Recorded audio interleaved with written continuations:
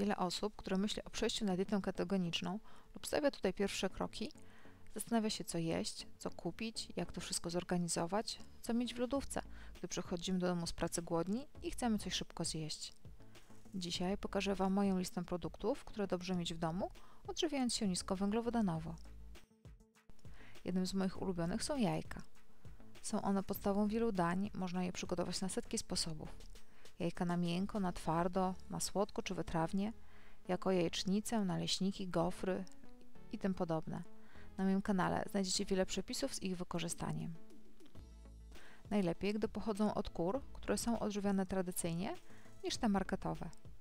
Jedno jajko zawiera 6 g protein i 5 g tłuszczu. Wiele witamin czy minerałów jak cynk, selen czy witaminy z grupy B. Jajka możecie ugotować także na twardo i po obraniu przechować w lodówce, wtedy zawsze będziecie mieli gotowe. Świetnie sprawdzą się z dodatkiem domowego majonezu lub jako podstawa do sałatek.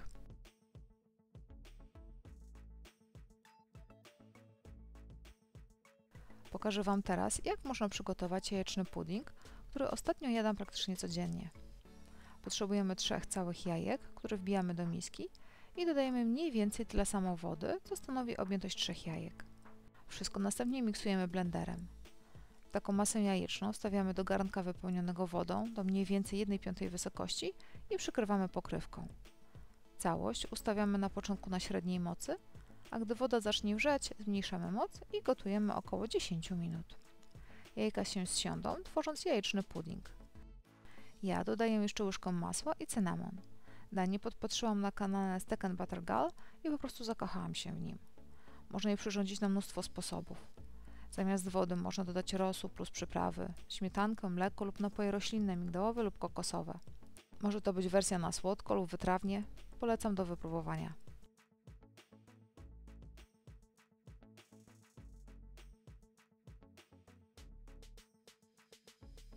Kolejnym jest mięso.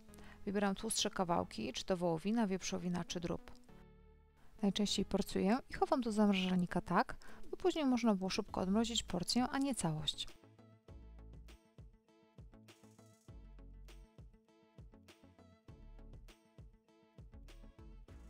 Często również kupuję mięso tzw. Tak rosołowe, czyli korpusy, ogony, szponter czy łapki. Nie są one drogie, a wywar lub rosół gotowany na nich jest podstawą do wielu zup czy innych dań. Raz w tygodniu gotuję cały garnek 8-litrowy, następnie w pojemniczkach po 300 lub 500 ml mrożę. Gdy ktoś ma ochotę na rosół, w kilka minut jest gotowy i ciepły. Pod ręką mam również często boczek, który drobno pokrojony sprawdza się idealnie jako skwarki, które potem wykorzystuję do innych dań, czy to do jajecznicy, czy do nadziewanych papryk i przepis właśnie na nie Wam pokażę. Na patelni podsmażam około 200 g boczku do ulubionego poziomu chrupkości. Dodaję przyprawy łyżeczką ziół prowansalskich, sól oraz pieprz. Następnie na patelni ląduje ser pleśniowy pocięty w kostkę. Można dodać również ser śmietankowy. Na średniej mocy podgrzewam, aż ser się rozpuści. Mieszam i na końcu dodaję dwie łyżki pociętej natki pietruszki. Odstawiam na chwilę i przygotowuję papryki.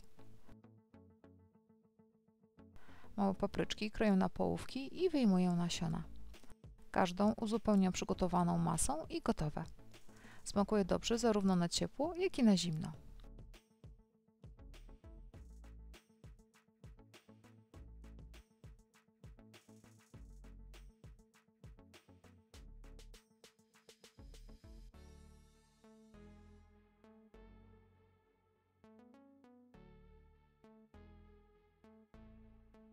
Niezastąpione są również kabanosy. Zawsze w lodówce mam kilka paczek. Wybieram głównie te dla dzieci, gdyż częściej możemy spotkać, iż w składzie nie mają azotanów czy innych konserwantów. Trzeba czytać skład, bo na niektórych można się oszukać.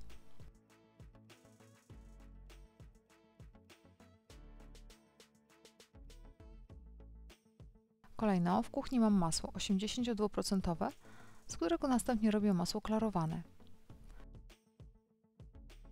Tym słoiczku mam dwie kostki masła po stopieniu.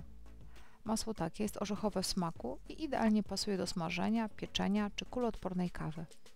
Kawałek masła położony na gorącym steku lub warzywach podkreśli ich smak. Niezastąpiona jest również oliwa z oliwek.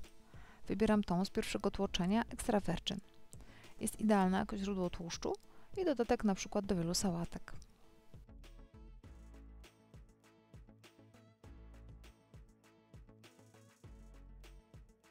Oliwki to pyszne owoce, które możesz dodawać do wielu dań.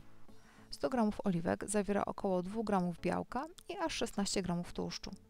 Są źródłem witamin A, B, C i E, zawierają również żelazo, fosfor czy potas. W zależności od odmiany różnią się smakiem i wielkością.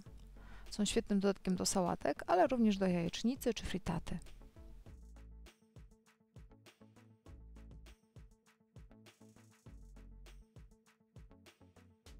Następnie w mojej lodówce możemy znaleźć sporo warzyw. Głównie są to pomidory, wolę wersję koktajlową, trochę zieleniny jak bazylia czy natka pietruszki i koperek. Aby przedłużyć świeżość natki, po zakupie przycinam końce i umieszczam je w słoiczku z zimną wodą. W lodówce spokojnie przetrwają wtedy tydzień lub dłużej. Trzeba tylko pamiętać o uzupełnianiu wody. Kolejno mamy brokuła czy kalafiora, które dzielę na różyczki i mrożę. Przepis na krem z kalafiora i dyni. W garnku rozpuszczam tłuszcz, ja mam masło klarowane. Na gorąco dodaję połowę poszatkowanej cebuli i podsmażam. Gdy będzie gotowe, dodaję po pół łyżeczki słodkiej papryki i suszonego czosnku. Kolejno około 400 g kalafiora podzielonego na różyczki oraz 250 g dyni. Zalewam to około 200 ml wody i gotuję pod przykryciem około 15-20 minut. Na końcu dodaję opakowanie serka śmietankowego. Można również śmietanki lub jeśli ktoś nie je na biał, to mleczka kokosowego. Doprawiam solą, pieprzem i miksuję na gładki mus.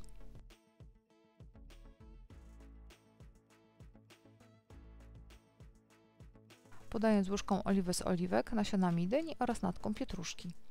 Z podanych składników wyjdą trzy porcje.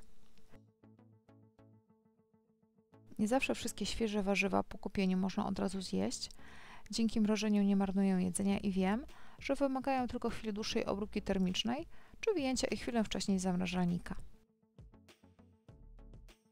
Podobnie rzecz ma się z owocami.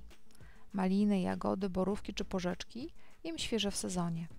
Również wtedy przygotowuję je do mrożenia i świetnie sprawdzają się później jako dodatki do różnych słodszych dań. Wystarczy czasami garść owoców plus ubita śmietanka i mamy pyszny posiłek.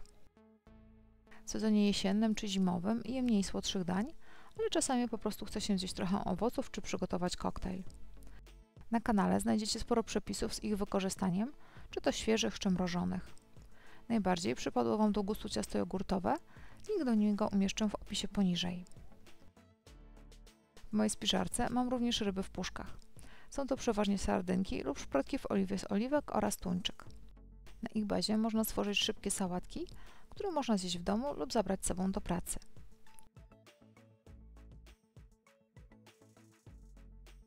Dla osób, które są na diecie ketogenicznej, miejsce w lodówce na pewno znajdzie się dla serów i produktów nabiałowych. Część z Was pewnie je wyklucza z powodu alergii lub po prostu ogranicza nabiał. U mnie nie ma już takiego problemu. Kupuję śmietanę i śmietankę, w tym przypadku wykorzystuję je często jako bazę do sosów i dipów. Zwracam uwagę, by miały jak najkrótszy skład. Z serów wybieram często ser Gouda, cheddar czy mozzarella, które świetnie sprawdzają się do robienia chociażby serowych gofrów. Mascarpone sprawdzi się do przygotowania kokosowych kulek.